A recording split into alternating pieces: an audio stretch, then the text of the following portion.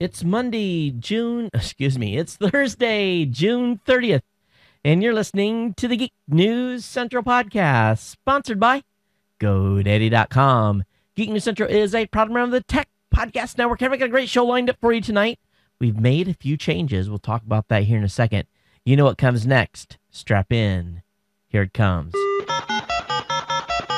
All right, people, I need a go no go for the Geek News Central podcast. Digital archive recorders, Or go flat. microphone, Go fly. video feed, Go. web browser, Go. RSS data stream aggregator, Go fly. interflux Toddism suppressor, All right.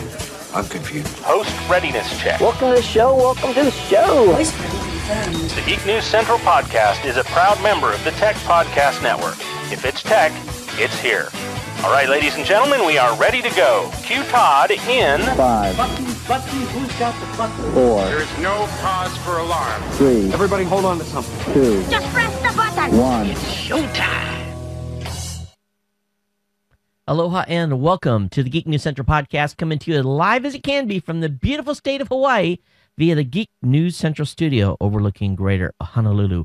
Hey everyone, welcome to the show. My name is Todd Cochran. I want to encourage you to go over to geeknewscentral.com, check out our great content. Of course, get out, check out the archive podcast available via the podcast link on the website.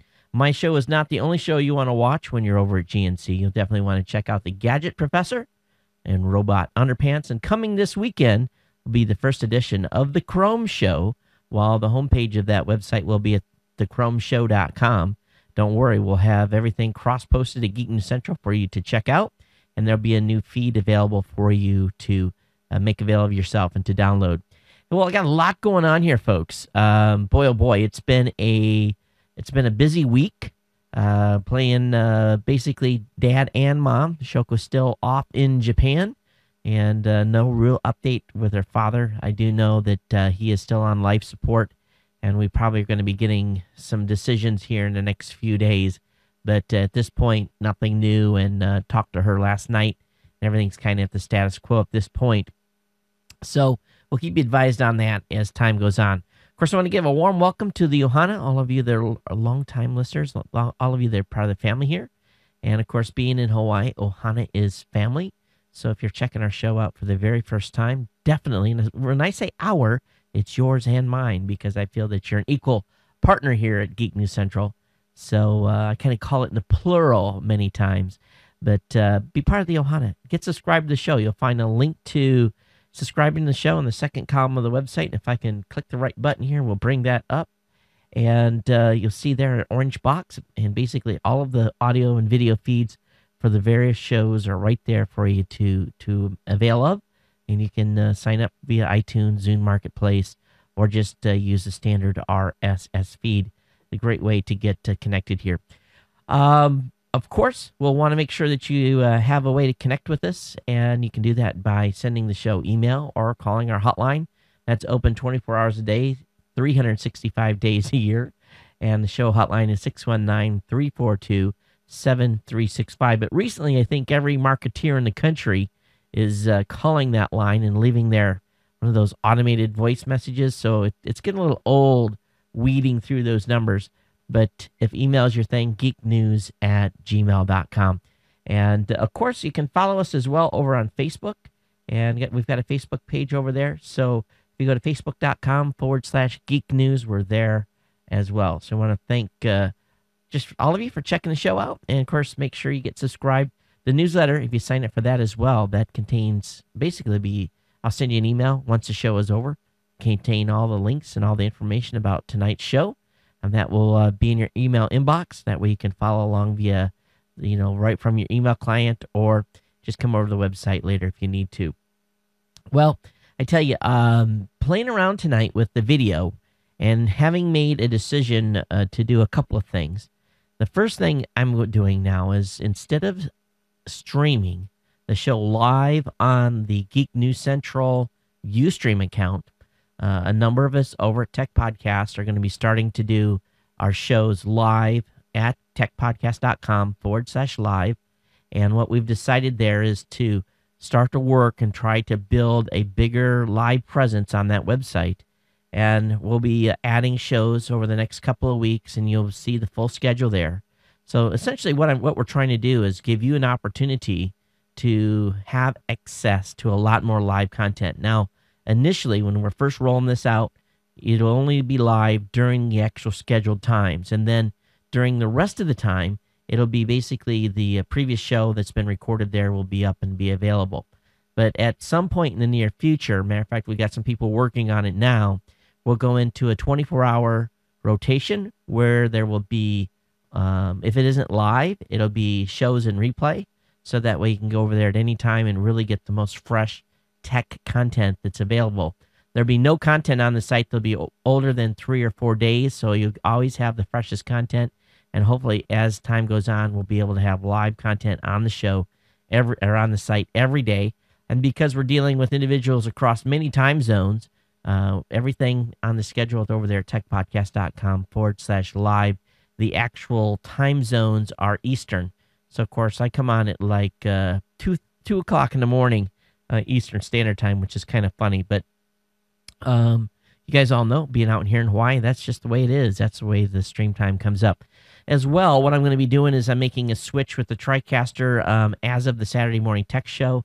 This Saturday, the TriCaster will be used to push to my primary stream at Amazon. We've shook that thing out enough. Currently, the Amazon stream being shoveled by the machine down on the floor, and that uh, quality is not as good as what I can do, basically send directly from the TriCaster. So we'll be making some flipping of how stuff is being fed here from the studio, all transparent to you uh, no matter what, you come to the site at geeknewscentral.com during the show or live.geeknewscentral.com. You're going to be able to catch the show.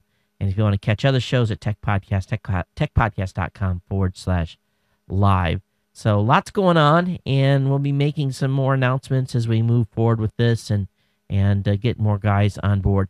What the challenge is is anytime you have 125 guys that are and gals that are all creating shows on their own dot coms and they may have their own Ustream channel, it's very difficult to say, okay, now move your primary stream source from here to here.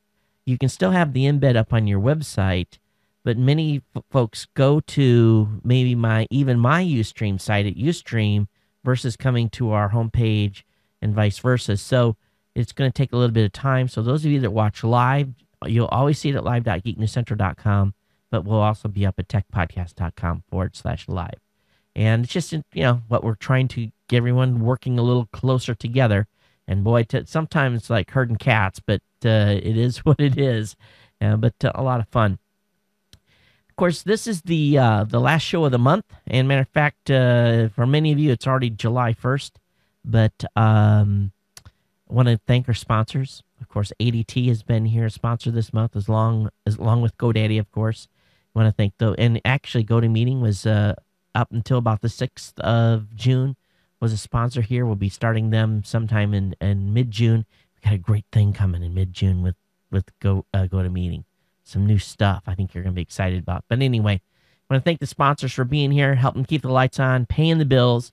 Uh, we'll know the uh, essentially the results of the campaigns here in a couple of days, so I'll let you guys know uh, how well the support went for the month and it is really uh, you guys really do take care of me here and I, I do want to thank you for the continued support of the sponsors hey for those of you that are just watching the show don't forget you can watch me watch the show on the roku or on the Boxee the tech podcast channel on either of those devices or you can get it almost on any glass and that's uh, really the best thing about this show is you can watch the show almost anywhere um, I do want to share with you a project I've been working on. I don't know if I alluded to this at all on a previous show or not, but living here in Hawaii, um, there's some unique opportunities in putting together, I guess for a better word, a network of Hawaiian entertainment. Uh, not being a native that has grown up here and being, you know, ba- basically living in, in Honolulu now for, for 14 years. Um, sometimes, uh, you know, even at this point, I'm not really considered local.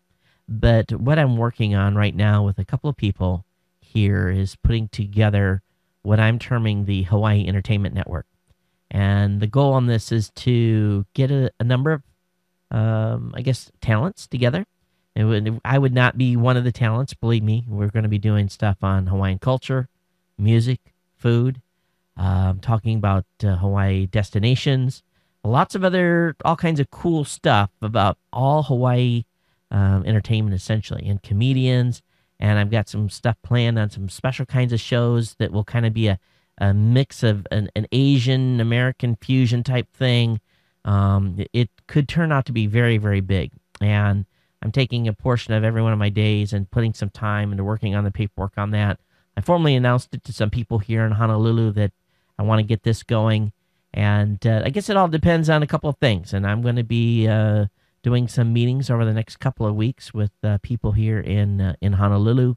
Kind of have an exploratory meeting with some potential talent and interested parties.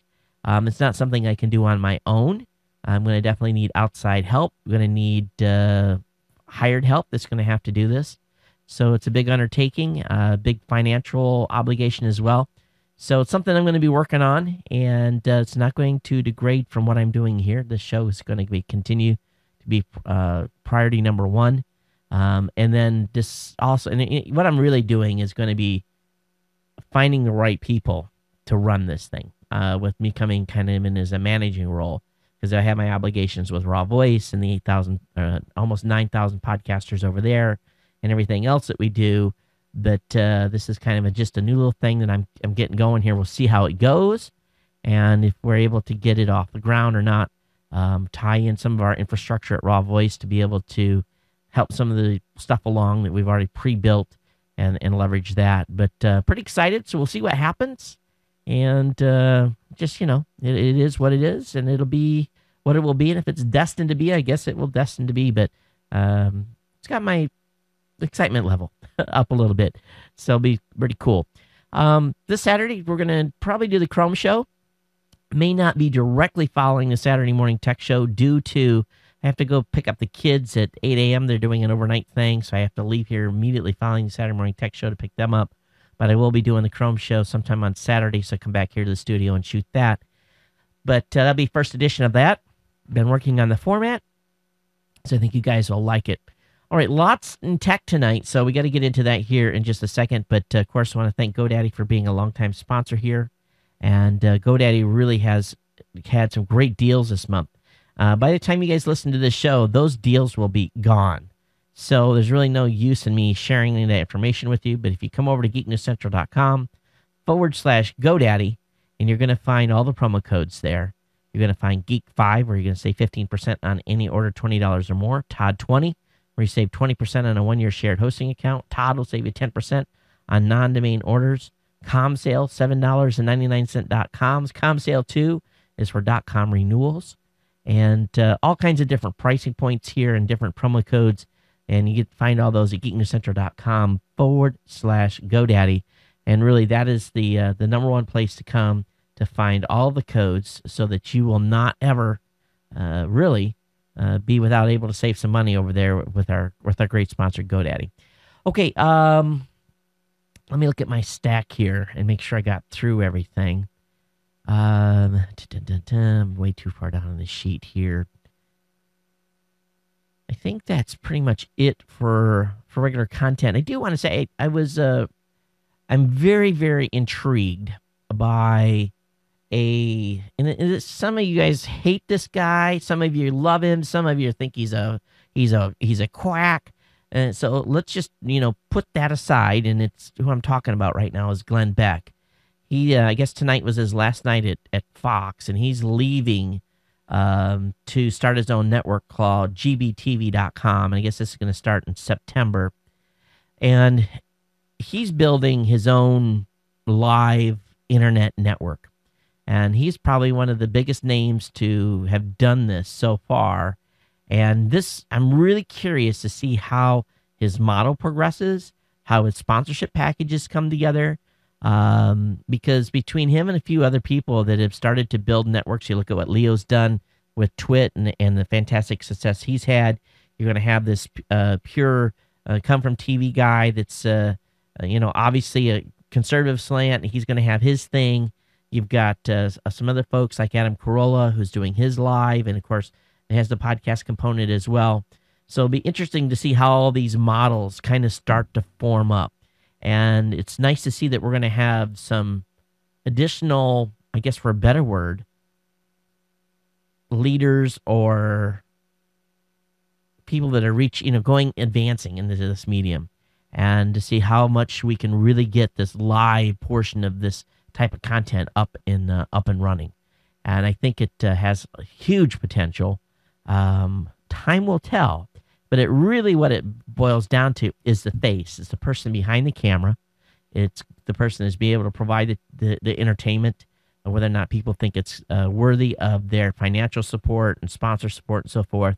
So um, I don't know. Love to hear you guys' feedback on where you think this whole live stuff is going, live internet uh, TV is going, and whether or not you think that individuals like Glenn Beck or Leo Laporte or, or Adam Carolla, where they can, mer- you know, they're soon when you go to your television, you're going to see, and hopefully Hawaii Entertainment Network and Tech Podcast TV, where you're going to see all those networks as options, and you're going to be able to tune in anytime and get content just like you do with CBS and Fox and everything else. If we can get the quality to the level needed to really, I think, for a better word, suck people in and have enough uh, inspiring content to make it happen. I think that's really really boils down to. But I'd love to hear you guys' feedback on this and uh, just tell me what you think. And for nothing else, we'll see how their models pan out and whether or not the sponsors jump on board to uh, to support these models. And I know Leo's done well with sponsors. Of course, he has some of the same sponsors we do um, here on this show and through our networks. But uh, we'll see as, if more come on board. I'm, and that's what I'm really excited about to see if more come on board. Because once they go into that medium, then it'll be easier to go to their media buyers and say, "Hey, you're in here. How about this over here?" And they're going to go, "Oh my God, we didn't even know." And sometimes it's more about awareness. Okay, uh, speaking of awareness, you know, one thing that's very, I feel rest assured is, you know, summer vacation here. The kids are having some time they can spend time here alone at the house. Um, a lot, many of you have latchkey kids, and you really, you know, they come home, they, you know, they get in the house, they lock the door. You're still at work. They're there for a couple of hours. You know, you tell them to lock the door, not go outside, not answer the door. But uh, really, I feel much more secure when the kids put the um, alarm system here in the house in the stay mode, and basically it's it basically alarms all the doors and windows, but you're still basically have the house protected. So if something gets tripped, the alarm goes off, um, and it gives you some some level of protection, and without the motion sensors while you're inside moving around. And uh, you know this is the same type of service that my good friends at ADT provide. You know who's watching your home when your kids are there or when you're there alone or you know it's uh it's there's a lot of craziness going on in the world right now so help protect your home with a security system monitored by ADT the leader in home security just call my friends at protect your home who is an authorized ADT dealer you can call now and get $850 of equipment and activation for free by calling 1 866 778 3127. That's 1 866 778 3127. There is a $99 installation charge and 36 month monitoring agreement. So, uh, between 35 and $99 a month, depending on what you get on the system. But again, ADT is the number one monitoring service in the country. Comes with the world famous ADT yard signs. Uh, monitoring charge again, just about a buck a day, and you can save 20% on your homeowner's insurance. So uh, definitely give them a, ch- a call, 866 778 3127. And of course, I should have had this screen up. uh, this one. Anyway, there's their number. I'll leave it up there for a few minutes. You guys can write that down 866 778 3127. And we want to thank ADT for, for being a sponsor here at Geek News Central. Okay, um, lots of stuff today. And, uh, I've talked too long already tonight. Um, let me go ahead and get right into the tech. This is going to make it hard for me to get the show done in the prescribed time that you guys, I promised to get you guys in and out on. And let me bring up the, uh, bring up Chrome browser here. And let's see, is that the right one? No, it's not. So there we go. All right, we're going to talk about first off is we're going to talk about Google Plus, and uh, very fortunately, I got an invite late this afternoon. I was able to play with it for about an hour, I know many of you are still waiting on invites, but let me go ahead and bring up Google And I just bring you into the main page here. And really, what it kind of reminds me a little bit of Google Buzz. I hate to say that, um, but it's not. It's not Google Buzz. So I've got. Um, I, I spent maybe an hour playing with this and reading the streams and the comment thread, and uh, it's pretty interesting because you can break this uh, uh, stream down by friends, family, acquaintances, people that you're following. I have a business category. Um, I've got stuff broken up into um, to fans for like for those of you that follow the show. I've got podcasters broke in there, PR people, folks from Raw Voice. So of course, a lot of these folks are not in the system yet. So as soon as they get in and start their streams, there'll be information. But basically, you can break down discussions in this stream section by basically how you've got it organized in your circles. And probably this is where the really where the rubber hits the road. And i'll bring up the circles. And what i've got is i've got people people in my circles 69 people who have added me 19 and i have about 500 to find and invite. So you can see down here in the bottom where there are some circles. And if i hover over like acquaintances it it basically pops up. And then i can look there at different names. So here's a um, individual that I know. It's an advertising rep. I've got uh, some folks that Doug Kaye is a, you know is a friend of mine. We got Robert Scoble here, and a variety of different acquaintances. And then I've got uh, family in another section. I've got podcasters. So all this is about circles. This is how you organize it in the system. So I've got my my wife, my daughter, my kids, who all don't have accounts yet, but I've already got them pre-queued into the system. So when they turn this on, it gets more. Now, if I want to look at who's invited me, I click on the people who've invited me and I can look through the list. So here's Norbert Davis. He um, is a, a, podcaster. We've had him on the Saturday Morning Tech Show. He's part of TPN. So all I'm going to do is I'm going to grab Norbert's um, listing and I'm going to drag him down here into the TPN pile. And what happens now is there's a little circle next to his name to show me that I've added him to a system. So we've got uh, Eric Beeler, and I think Eric is.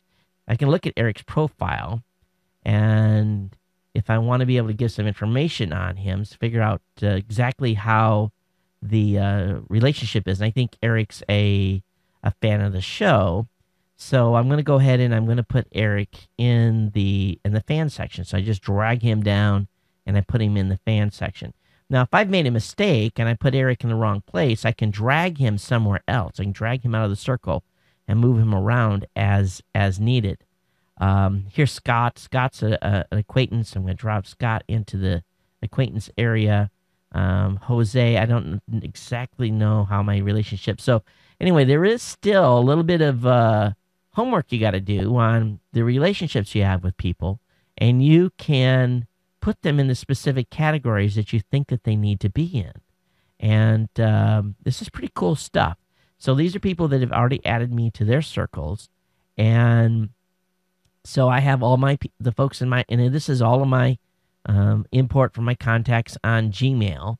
And really, I have more more uh, contacts in Gmail. I have twenty five hundred contacts, so I don't know why it's only showing me uh, five hundred of them but that's the kind of the way it is. Now, if I go back to the homepage of Google Plus, um, it shows me over here who's in my circle, gives me some suggestions. Um, there's a new thing where you can start a Hangout. This is a real cool feature where you can do um, basically you can have the uh, your, your, webcam up and you can be in like kind of a, a cool chat room uh, where you can see each other. And then, of course, it's tied into Picasa as well. Now, I don't have any photos on Picasa, but I can look at all my friends pictures, stuff that they've uploaded and that they have linked into their system, so I can kind of get a, a their newest stuff. Now here is uh, Matt um, Luchek and you know different folks that have got different pictures, and then I can have, of course, adjust my profile. The about page is just like your is the same is the page from your Google profile. So I have my full full Google profile here. This is stuff that uh, has been in the Google ecosystem for a long time. Um, I can upload photos. I can do videos. I can share my plus ones, and this is when I plus one something when I'm on the Google search page. And then the buzz is still there too. So you've got the buzz link. So Buzz is tied in there as well, which is kind of interesting. And then it shows me all of my posts and the comments made by other folks. So here's my comment where I said, just starting to play with Google Plus, And um, one of my thoughts was it's a big drain of time on the circle management because you can spend a lot of time managing the circles. But I think once you do, and as you add people, it really kind of, I don't want to say compartmentalizes it, but I the folks that are I'm putting in those circles, they have no idea unless I tell them which circle they are. And I'm sure you can end up getting too many circles. Um, but for me, what I think I like about this the best is I can have this stream up. Now, you guys know that I am not always using, um, let me flip this back. You guys know that I'm not always in webmail. I, I still like using Thunderbird a great deal. But what it's this is definitely going to push me to doing, and it is the only thing that bugs me is that this is only on my Gmail account.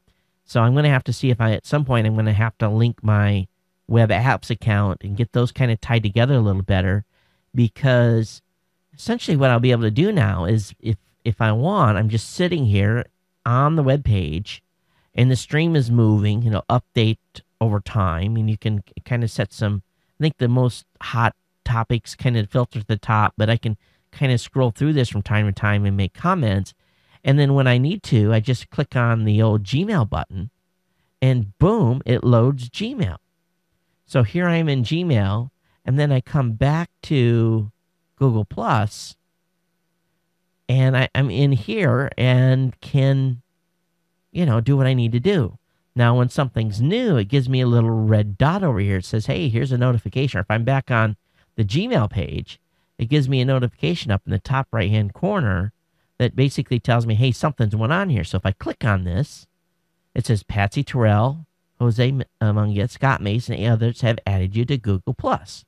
And then Bruce Fisher and Ryan Ozawa and some other folks have commented on my post. So if I click on this link here and it shows me Patsy, now I know Patsy, so she is an acquaintance. I'm going to add her there. So she gets added, and I can kind of manage this a little bit better right from this section here. So if I decide I want to change Patsy's designation and move her out of acquaintance, I can move her into a fan or I can move her into a podcaster, which she is. She's a podcaster. But you can also have someone in two circles. You don't just have to have them in one. So that to me was pretty cool. And so I'm able to select and manage this really easy. Now, Jay Clark, I'm not sure who she is. So I can click on her profile, read the about page. There's not a lot of information there. I see who else she's following. She's following some people here in Honolulu. So I can go back and I can click add to circles and I can say, let's go ahead and add her to, um, let's just put her in the fan category. And then go back to the main page at Google Plus and there's no new announcements now. There's no new notifications up here.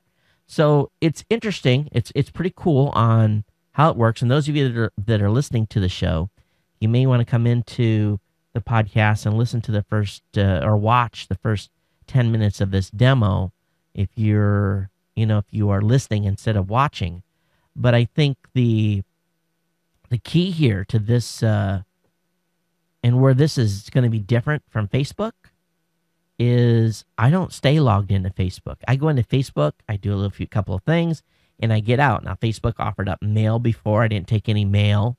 Um, now I'm trying to figure out how do I get my two or three thousand followers on Facebook into Google Plus and get them organized that way.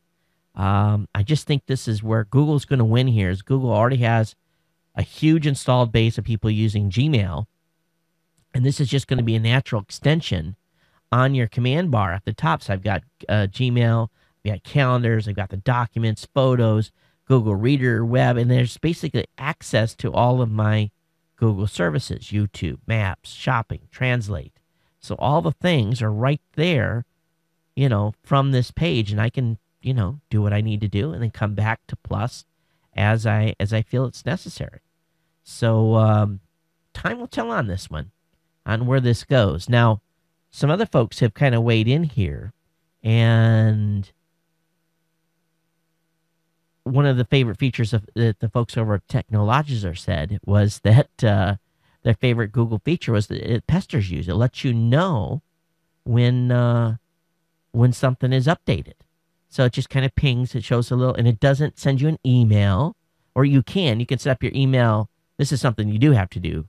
Um, you comment on a very active thread, you'll get a lot of emails. So I set up my um, email preferences. So really, if it's not my thread and it's someone else's, and someone makes a comment after mine, I don't get an email every time. So you definitely want to go in and set up your preferences.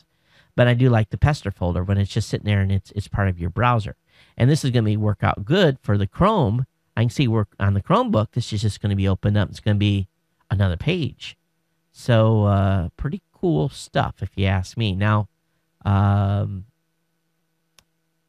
they're saying here, the article over at allfacebook.com, talking about the uh, um, the one Google Plus feature Facebook should fear is that people are going to be staying on the site, just as I said, you know, because they've got their email opened up.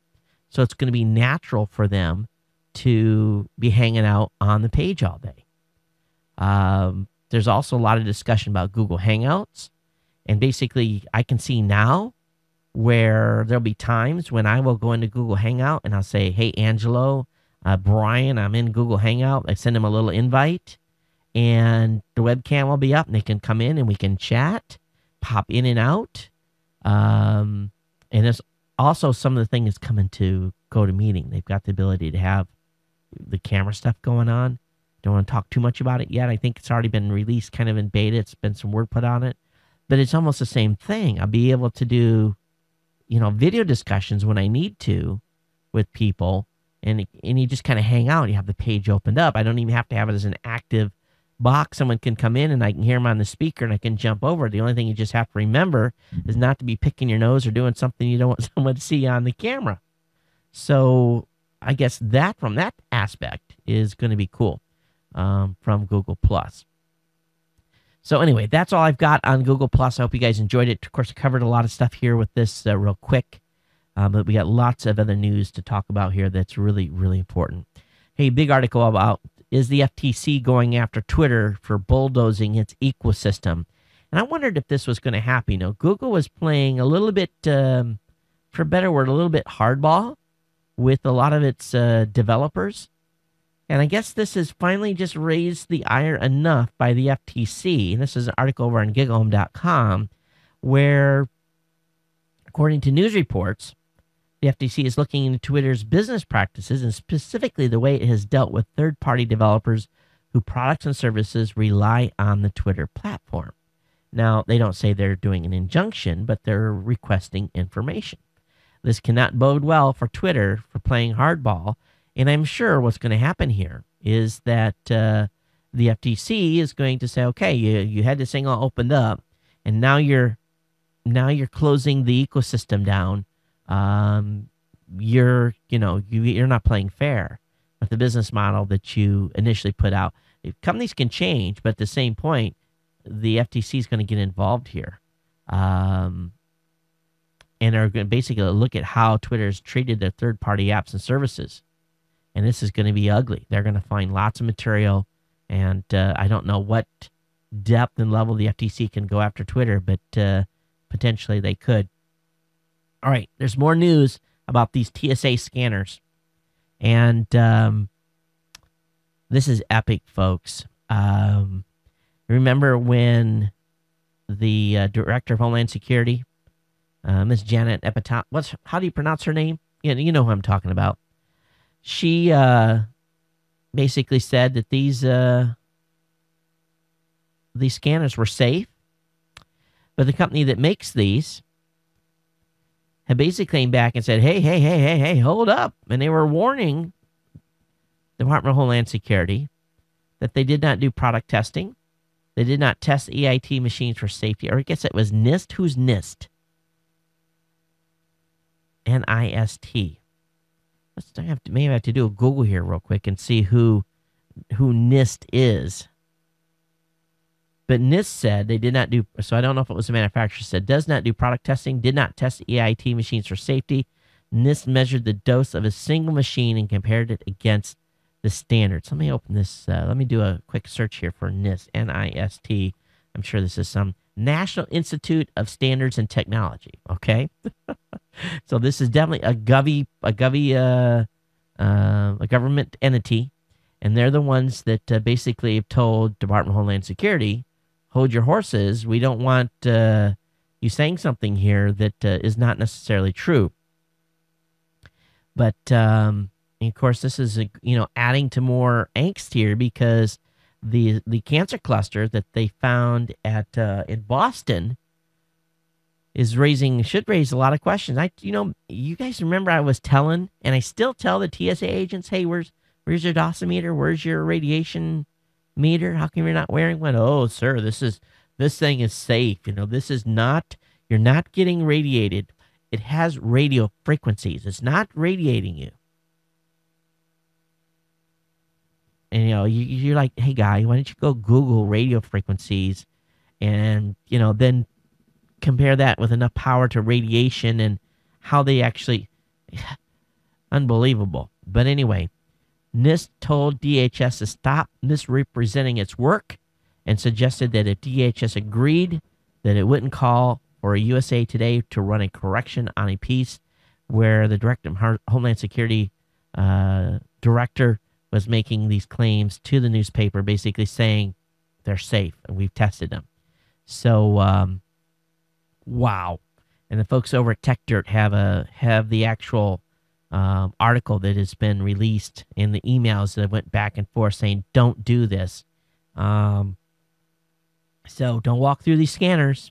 I'm telling you straight up, don't do it. Okay.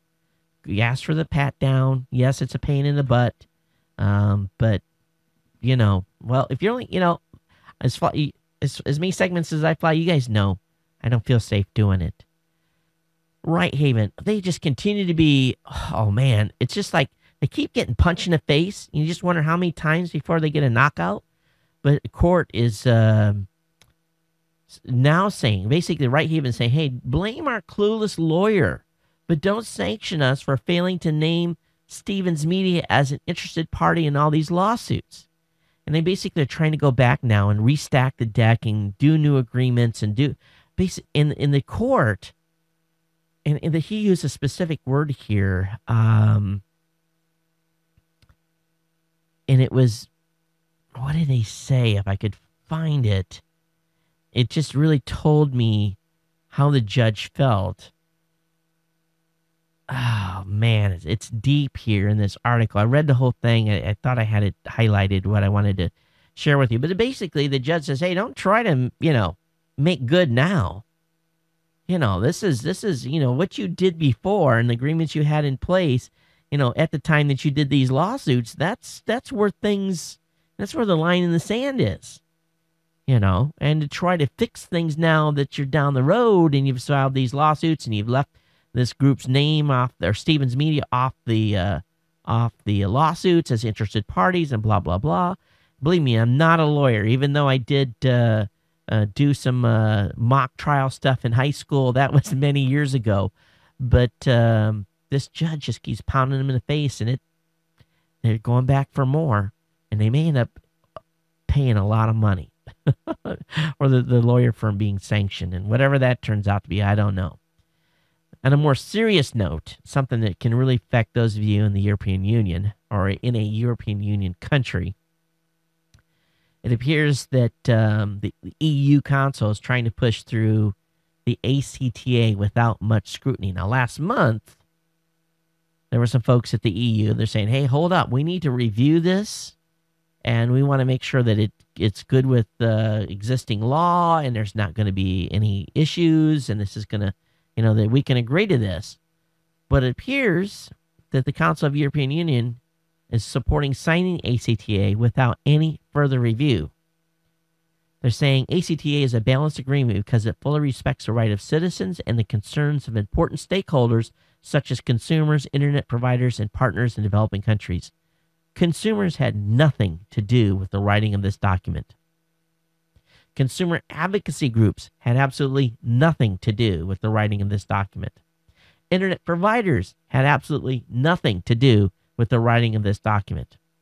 Who had to write? Who helped write this document? Copyright holders and government groups. So here is some challenges. You, those of you that fall underneath these EU rules, and I don't fully understand how this whole thing works with the EU, but uh, the EU Parliament is uh, set to act on this thing. And um, this is crazy stuff. Be aware. All right. I have the link up in the show notes for you to check out. But uh, I'm sure they're going to ram this thing down our throat here in the United States, too. I can't imagine them not. All the stuff that they're doing recently. Anyway, email me at geeknews at gmail.com as well. There was a good article over on lex18.com. And what intrigued me about this was the technology that has been used. There's a software developed by an Israeli team that's offering new hints about what researchers believe to be the multiple hands that wrote the Bible. Now, the thing that I'm I want to um, focus on here is what this software does, and it'll do this on any book, um, on any text. But they chose the Bible to to do their initial studies with. Said that the new software analyzes styles and word choices to to distinguish essentially different parts and to figure out who where one writer started and one or one writer stopped, another writer took off, and so forth. And what I found completely fascinating about this article was they that um, scholars and so forth had spent many many years kind of dissecting and doing this work on their own, and they had kind of come up with a, you know, a, a basically an outline of the number of writers and so forth through through the Bible. And what took many many years and many many people this uh, software did almost instantly. And um, so they are there and the thing is what's kind of cool is that it lines up with what the scholars decided. And they've tried to trick the software and the, the software's you know been able to detect changes. So um, this is pretty exciting stuff. Now think about this down the road. What happens when this technology is brought into colleges, into academia, into uh, into businesses and stuff, and where now if you're a student and you write a paper, they've got some software out there that does comparisons, looking for um, basically stuff that you plagiarized and it can pick that stuff out. And if you haven't properly referenced it, you know, you haven't quoted it right and give attribution and all that stuff back, you know, schools take that very seriously now and they, they'll come after you with a hammer. But imagine what happen will happen when they start using this type of software on any type of paper. And what basically it will tell it's going to tell people yes you are the person that did the original work. And i can see all kinds of applications for this. Um, and i'm sure the criminal justice system is going to love to get their hands on this to look at uh, different writings by different people and different sites. Boy, I tell you, they are starting to learn some very deep stuff about the human psychic, and just by the words we pick and how we write and how we phrase stuff, um, and they'll be able to tell. Pretty cool. It's really, really cool. Now, of course, they're going to know everything we write now. Everything is on the net, so and there's going to be a record trace back to us, and it's you, our, you know, you know, our people that are four or five generations uh, down the road, they're going to be looking back at uh, Todd's work and my kids' work and my wife's work, and and uh, it's going to be a cool time for them later on. Unlike the, all the digging that we've had to do to find information, but uh, this is pretty cool software anyway that they've uh, been able to come up with. I have a link up in the show notes for you to uh, to check out. Some software I want you to check out. An application called Media Mall. It's basically brings DVR to internet video and you can you can basically this is going to be a paid app uh, ultimately it's going to be about five bucks a month you're going to be able to do youtube mtv betv Vevo pandora amazon videos cbs variety of different sites. And you're going to be able to dvr stuff right into your computer. This is totally cool. Can't wait. And i'm hoping that somehow we're able to get this content saved and be able to put it on a media device and go with it. Um, they're saying right now it's wrapped in DRM. So I don't know how this is going to be cool to try out, but uh, definitely check out Media Mall It's Play Later. Media Malls Play Later, and it's actually that's the name of it. Play Later brings DVR to uh, to internet video. Pretty cool stuff. So I'm excited about that. Hey, those of you that do use Gmail, Gmail's going to get a new look. They're uh, getting ready to roll out the new uh, the new and improved Gmail, and uh, I'm pretty happy with the way it is. But when I saw it, I thought, hmm, that kind of looks a lot like uh, the motif that they've used at uh, Google Plus. So I guess I'm not surprised. So they've changed the fonts and the uh, the layout of the website. Hopefully, it's a lot easier to deal with uh, with tags and so forth because I tag everything and uh, put them in specific buckets. But uh, anyway, that's what the new Gmail look is. You'll be able to revert to it as well. That and there's a actually a um, a link in the actual article that show you how to revert to the old Gmail look if you don't like the uh, the new one.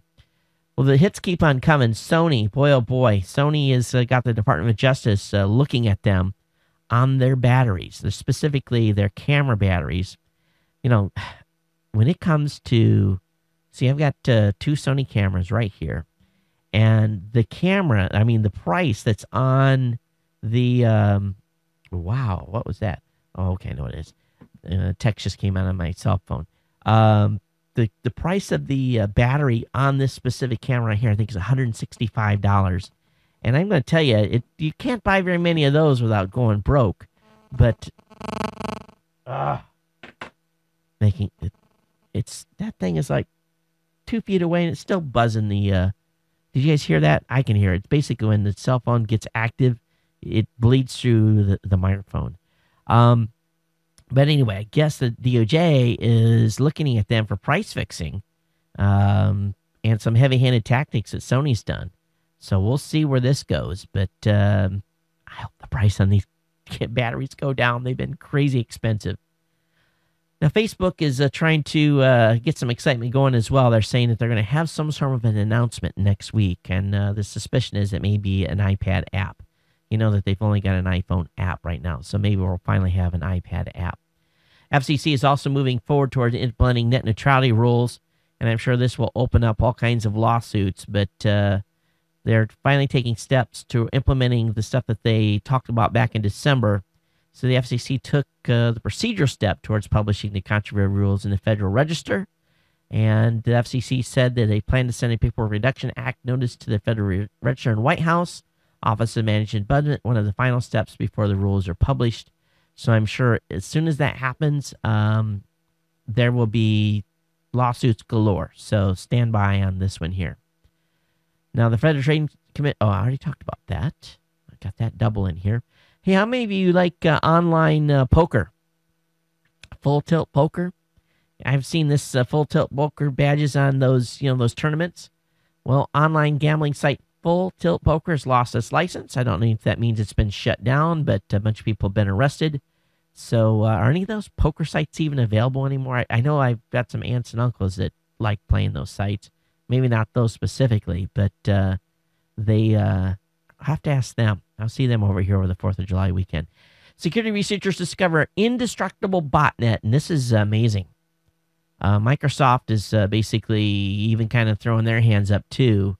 Uh, the 4.5 million PCs that is underneath this botnet's control over the last three months is, uh, in effect, the result of what's called the TDL virus.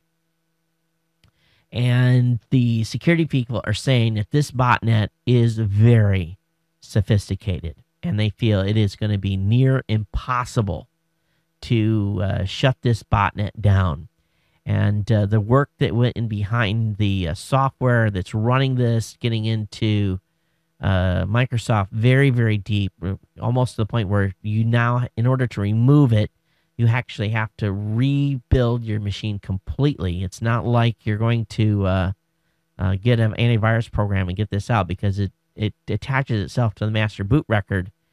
And um, here's the here's the crazy stuff. The majority of victims, 28% of the U.S., 7% in India, UK 5%, and a small number smaller numbers are in France, Germany, Canada, and the rest is all across the rest of the world. But um, they say that this thing is going to be near impossible to shut down. So scary stuff. that they can control 4.5 million computers. Hey, on the health side, and a little bit of techie as well, there's a new paper out from the CDC um, basically talking about emerging infectious diseases that makes a pretty provocative claim. He says there's a, they're basically saying there's enough similarity between drug resistant genes in E. coli carried by chickens and E. coli infecting humans that the chickens may have may be the source of it. So in other words, what we're seeing here is drug resistant genes have been carried over from probably eating chicken. And um, you know, here in Hawaii, very hard to get range fed chicken. But if you ever get it, you know, just for the taste alone, if you eat a lot of chicken and you have the ability to get uh, range fed chicken, it's chicken that hasn't had antibiotics put in it, has not uh, been on land that has been sprayed with chemicals. If you can get range fed chicken, it is absolutely the best. My mom is able to get them um, down in Amish country in Indiana. Um, but if you ever get a chance to be able to get some of it, uh, with this type of crazy stuff being announced, um, boy, oh boy. But again, it seems plausible that uh, there could be some more evidence here of antibiotic use in agriculture having a direct effect on, on human health. And um, I don't think we should all we should be surprised at all. But 876 of the patients tested um, 5% of them harbored what they call the ESBL genes. Out of 31 blood cultures in hospital labs, 74% contain ESBL genes. Out of the 262 meat samples, 30% harbored an ESBL gene. Broken down by type of meat, there was an ESBL in 80% of chicken samples, 5% of the beef, 2% of the pork, and 9% of the ground or otherwise mixed meats. This is insane. So I guess maybe I don't completely cooking isn't going to fix it here, but um, this is nuts. And I'll have a link up in the show notes for you. I guess we shouldn't be surprised. And uh, I guess the vegetarians are going to tell us, "Told you so, told you so." Well, ISPs now, the next, the latest tactic is where ISPs are going to be told to play cop, play copyright cop. Um, a major internet conference today that ended in Paris resulted in the publication of what's, and of course, they, they had this um, conference for just a couple of days, and they were able to come out with a, a publication. And like this wasn't written before the conference, but it's called the Communique on Principles for Internet Policy Making. And um, basically, a key piece of these principles in this document involve the deputizing of internet providers to become internet cops. Cops would act on the behalf of voluntary agreements with content owners and other groups, not on national laws. Now, French President Nicolas Sarkozy, a major proponent of the internet civilizing, kicked off the current push for the internet net policing at the EG8 summit last month. And of course, President uh, Barack Obama and UK uh, Prime Minister David Cameron agreed on the need for internet rules of the road to be worked out at a higher level conference over the next year.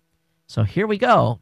At some point, we're going to have our internet service providers no longer operating under the pretense that they don't look at uh, content and having uh, be protected by safe harbors, and they are going to have to start policing. You know this is coming. They haven't been able to get the site shut down through well, they keep shutting sites down and new ones keep popping up for peer to peer. The internet is has all types of access to get stuff of multiple different ways. So now they're just okay, we're just going to cut you off at the source and we're going to get the internet service providers to do it. Um, you know, not uh, unsurprisingly, such digital rights groups like uh, the EFF said the document could encourage states to use internet intermediaries to police online content. In other words, they would actually use secondary people to policing it, not even the ISPs, but some sort of a agency that would be watching uh, everything that you do on the internet. It's uh, wow, privacy. it's gone. I, I laugh, but it's true to a certain extent here. We're we're at that point, folks. We really, really are.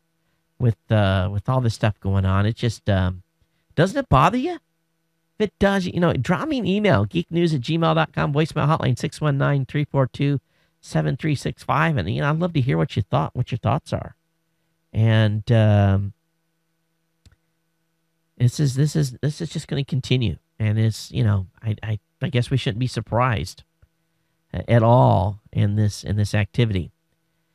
Now, I've been getting some emails from a company called LightSquared. Of course, uh, many of you have been probably familiar with what LightSquared are doing. Is LightSquared is trying to launch a 4G network, and uh, they want to do it with satellites and with towers. But this uh, LightSquared 4G network um, frequency spectrum is right next to the GPS spectrum, and they're having some trouble uh, basically, GPS guys are saying, "Hey, hey, hey, uh, this LightSquared stuff's gonna kill uh, GPS signals." And essentially, what has happened is the GPS manufacturers, you know, there's a very narrow frequency. If you just look it up, GPS frequency, you'll see where the GPS sits at. It's a very narrow RF frequency.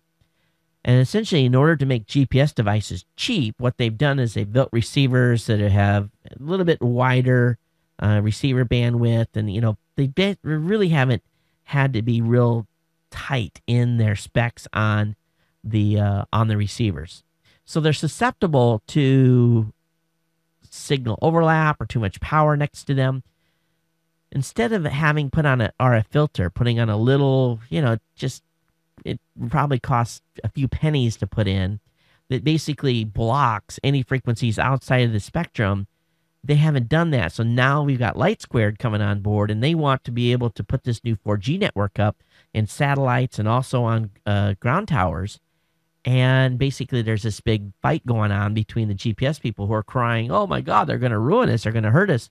Now, all of us love GPS, but with the LightSquared spectrum holdings between uh, 1525 megahertz and 1660, which is a pretty huge uh, width of uh, frequency, um, the GPS industry is basically so scared they've launched a coalition to save our GPS. Actually, launched a website. They're trying to fight LightSquared, and uh, I think LightSquared is doing the right thing and pushing back and said, "Hey, you, you know, you can help mitigate some of this on your side too." So we'll see where this goes, but uh, this could be a huge, huge battle before it's uh, before it's all over got to show you this video of Neptune. This is a totally cool video. And uh, let's see if I can get this up here uh, and play this for you. Let me uh, start it and then I'll, expl- I'll explode it here. Absolutely amazing picture of Neptune. And um, wow, what an image! Absolutely amazing. And essentially, what's happened here is that, you know, there's been a lot of discussion about different planets and the, and the properties. And um, it's just, uh, they're able to, you know, come up with some cool stuff on this. But I just, and if nothing else, you know, you can go read the whole article about all the science that they were able to gain from this. But I just thought it was a cool video. The colors and everything were absolutely beautiful. So, link will be up in the show notes, of course, or in your email newsletter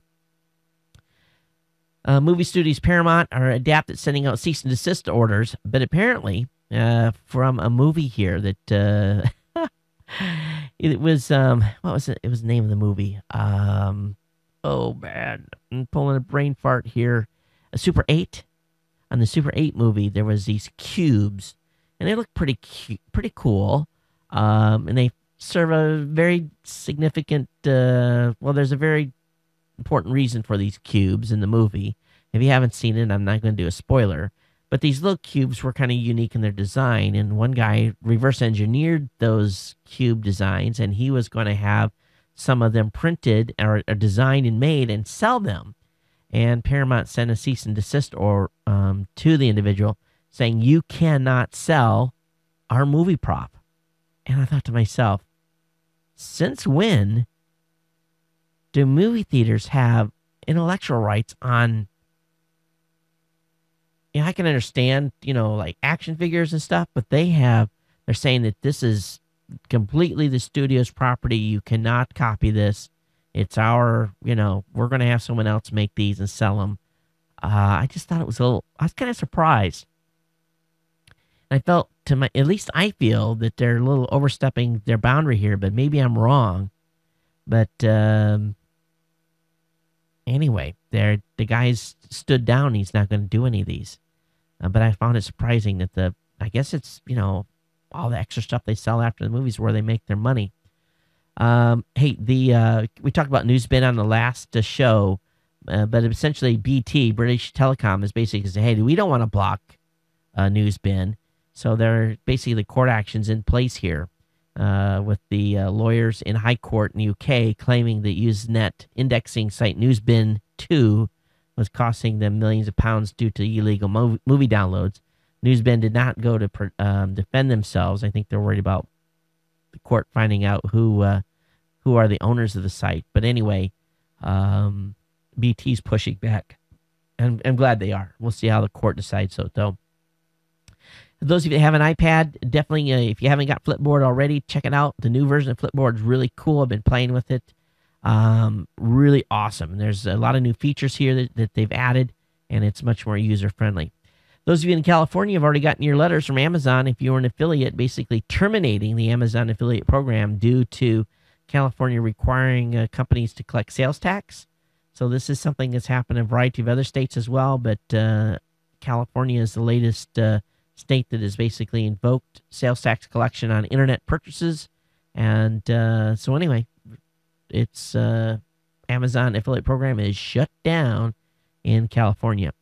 Diamond has come out with a, a box called the wireless video streamer. I've seen uh, the prototype to this at CES.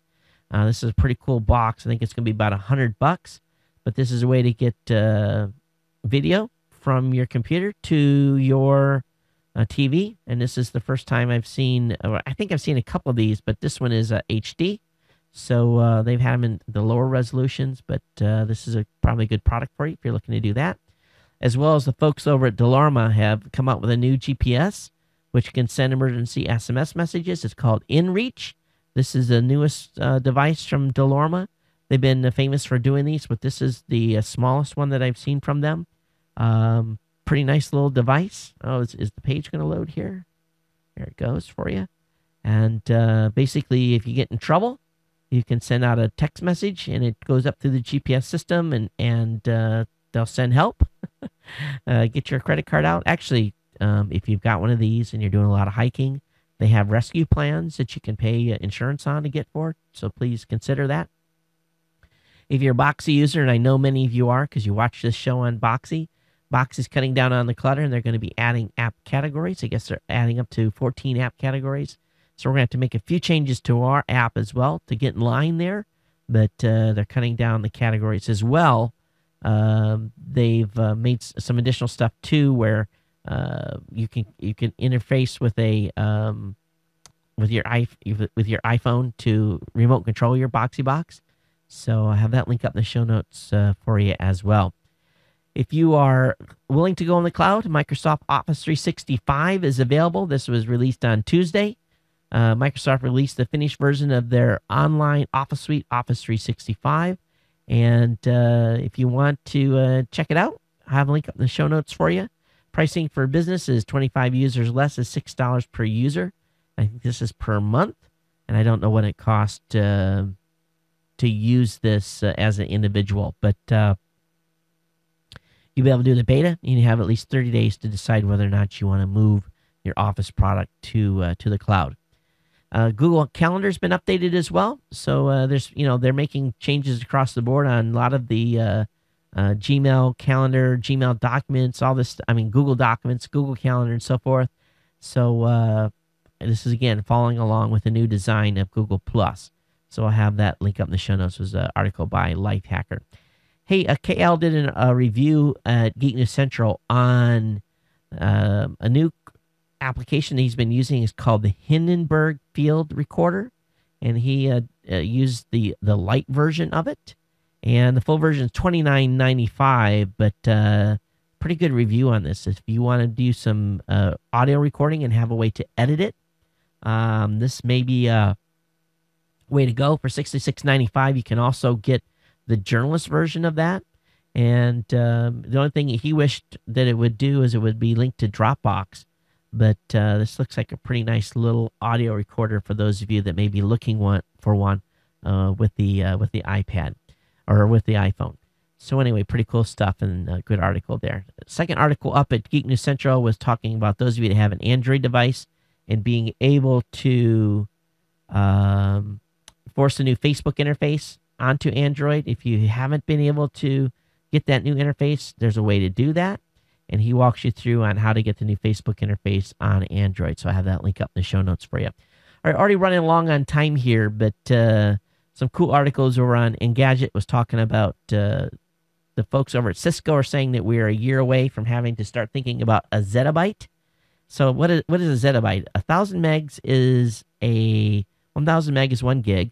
A thousand gigs is one terabyte. A thousand terabytes is one petabyte no, excuse me, is a, is a terabyte. 1,000 petabytes is an exabyte.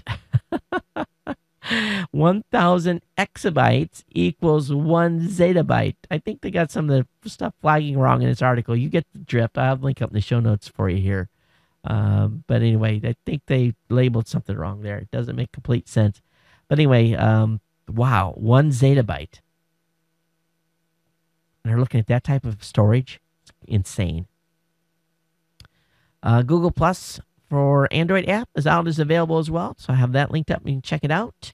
And I haven't uh, played with it on my Chromebook yet, but I'm going to, so we'll see how it works over there. Hey, Apple Thunderbolt cable's been gutted, and for the first time, a cable that's uh, 50 bucks, they're saying was worth 50 bucks. Um, this new Thunderbolt cable has all kinds of chips and components in it, and for the first time, uh, they say, yeah, it's probably justified. So have a if you're getting ready to buy a new Mac and you need to get this cable, uh, probably best to just do it through Mac. Hey, RIM, boy, to talk about a company that has just been absolutely beaten down, you know, with the BlackBerry and this in their recent offerings. But uh, RIM has been handed an open letter from a disgruntled employee, and they responded. Um, but basically, this guy has said, "Hey, you need to focus on the end user experience. You recruit some new people." talk about uh, cutting projects to the bone. He just goes on and on and on. A lot of good advice for the management at RIM. We'll see if they uh, if they listen. Have you heard about the new UFO? Well, it happened in London, and uh, this is over. I know it made a variety of websites. I thought it was even on a news site as well the other day. But uh, John C. Dvorak's website had it up. I'll play it here for you. You can watch it. It's. I don't think I'll play the whole. Yeah, I'll play the whole thing, and then we'll go right into the email from that. But uh, yeah, maybe I won't. I'll play just a segment of it here. Let's see if it'll actually play.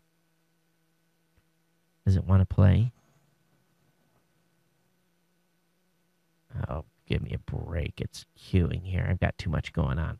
All right, what I'm going to do is I'm not going to play this. I'm just going to go ahead and link this in the show notes, and then you guys can uh, to check it out. But uh, they've already pretty much said this was a potential hoax, but uh, no one's claimed responsibility for it yet. Uh, for maybe a potential movie launching next year. Oh, of course, MySpace, man. Uh, yeah, they sold for what thirty million dollars or twenty five million dollars. Well, half the employees have already been fired or let go. So uh, this is not surprising. After News Group let them go, this is a Robert uh, uh, a Rupert Murdoch failure. He what, did he invest five hundred sixty million or something like that when he bought it. How would that? How would you make feel lose five hundred thirty million dollars? Um, got a link here for a couple of things talking about Windows Live, talking about uh, Hotmail being ten times faster. I don't know anybody that uses Hotmail anymore, but if you do, you should see it being used a lot quicker. Um, good article over on Ars talking a little more in detail about the Amazon shutdown in, in California. Google has patched seven bugs in, in the Chrome browser, so you'll be getting an update for that. And how many of you that are students have had to deal with uh, uh, the Blackbird or Blackbeard as a interface? Well, some students got sick of it and they put together their own collaboration tools.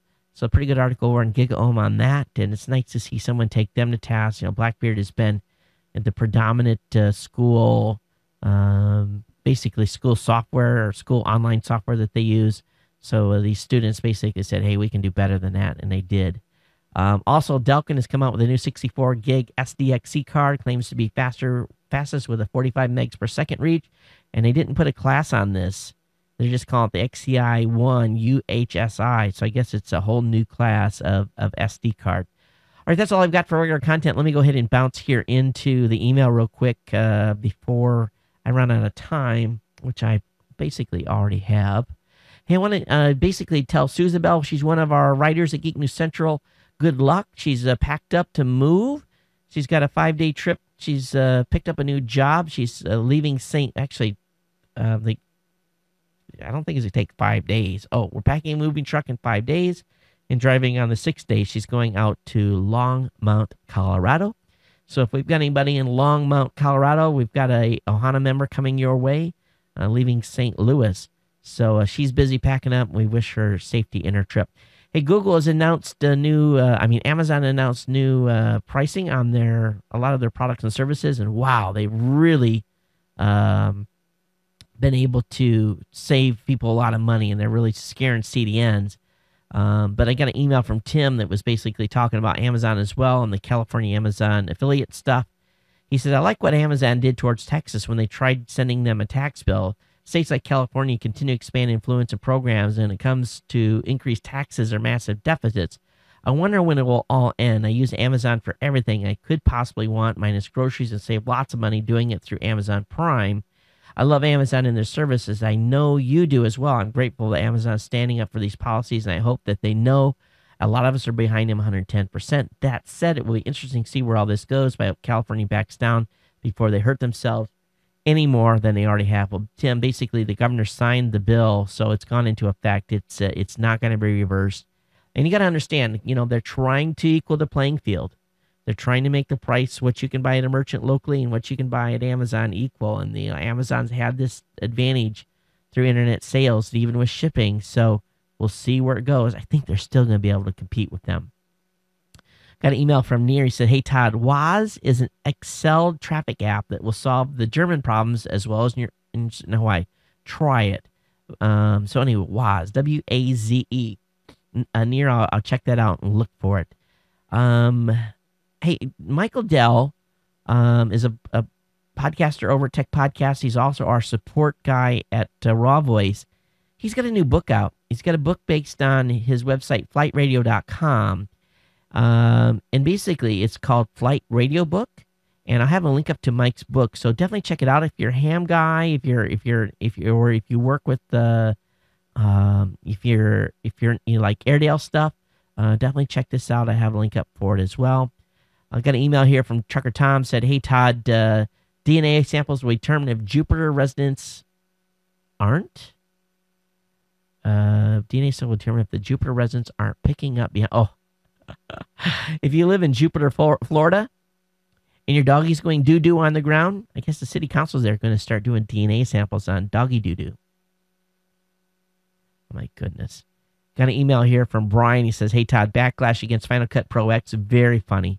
He's got a link to a YouTube video. I'll have that up in the show notes as well. Um, Social Wars, Google unveils Facebook competitor. Of course, we talked about it at the beginning of the show, Google Plus. Um, got an email here from Seth Todd. This is Seth from Michigan. I have a pocket cast for the Droid X2, and I use a search bar and search Geek News Central, and both the audio and video options of the show came up. Same with Saturday Morning Tech show. Also, I did not try to find it via category. So for Pocket Cast for the Droid, you can find Geek News Central. So thanks for that, Seth. And uh, but anyway, that's all we've got for comments on tonight's show. And boy, right at the right at the end here. Hey, geeknews at gmail.com, geeknews at gmail. Oh, what was I doing here? Geeknews at gmail.com, voicemail hotline 619 342 7365. Uh, sorry I left you looking at the screen here for the last five minutes, folks. Um, other than that, it's been a great show. I hope you enjoyed it. And uh, we'll see you the next go around. Thanks so much. Take care. And aloha.